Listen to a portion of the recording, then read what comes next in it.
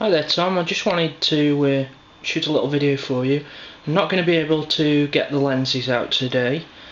Um, it's taking quite a bit longer than I expected. This is the prototype, this is uh, the very very first lens that um, I've got servoed up in this way to be honest.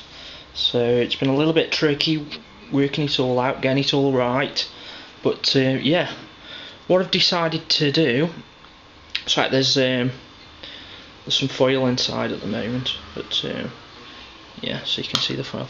What I've decided to do is basically I've made the eye lens so it's totally ready for you. All you've got to do basically is when you receive it is um, just put your servo straight on the back and then secure your servo in whatever way you want to secure it.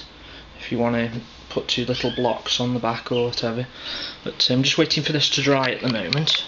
So as you can see the uh, actual spline for the servo is is there smack bang in the middle.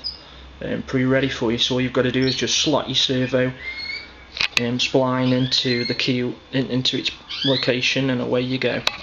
Um, okay let's take this back off for you. Please bear with me. So just loosened it off slightly so it's finger tight and with me having the camera in the other hand these come in very handy for loosening it and tightening it up. Um, okay, as you can see there's some foil sitting in there at the moment.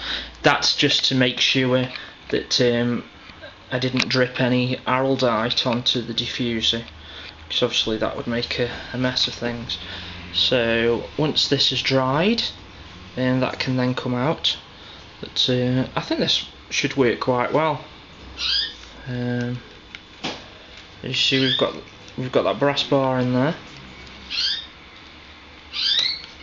copper, sorry, which is um, soldered to the brass, and then we've got um, the servo horn epoxied in there. Once that's dried, I'll then be doing um, another coat of epoxy from the other side. So going to put some epoxy so we can do that. Um, and it and it all goes together really nice to be honest. Um, so what the one thing I did have with this um, particular lens is um, it has to be dismantled to um, do what I've needed to do because I have to put another slot into the retainer for the iris but um, one issue I did have I was finding that um, it was binding up the iris was. So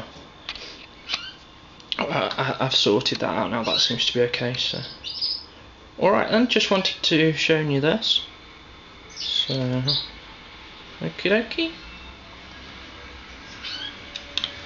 um, I think I'd like to uh, try a servo one there after it's completed and uh, I'd like to actually see it operate so um, once this one's done I'll be working on doing the same to the other eye lens and then if I can get them both done in time um, for bef before dinner time um, tomorrow then I'll get them out tomorrow. Um, if not it's going to have to be Monday because uh, post office closes at 12 o'clock tomorrow Okay then Tom, thanks and uh, bye for now. I hope you like what you've seen on the video. Uh, just, just thought I'd do it properly and um, just get it nice and ready for you so you can drop your micro servo straight on there. Okay, thanks. Bye for now.